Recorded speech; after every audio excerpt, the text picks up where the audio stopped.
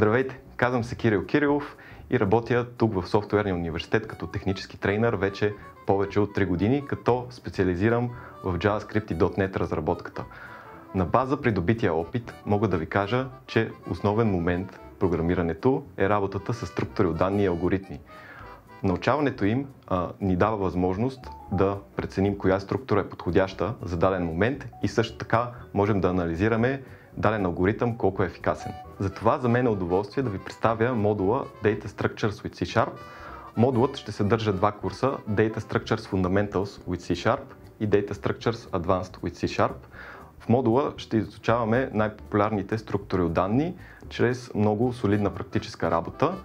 В първия курс Data Structures Fundamentals ще научим работа с линейни структури от данни, като листове, стекове и опашки и работа с дървета и алгоритми за обхождане на дървета. Във вторият курс ще научим други видове дървета, като червено-черни дървета, AVL дървета, AA дървета и балансирани дървета, както и работа с хеш таблици асоциативни масиви и справяне с колизиите в тях. Модулът е подходящ за всички, които могат да боравят свободно с променливи условни конструкции, цикли и масиви, както и имат солидни умения по обектно ориентираното програмиране. Той е подходящ и за хора, по-опитни програмисти, които искат да научат как по-хубаво могат да съхраняват данните в компютърната памет.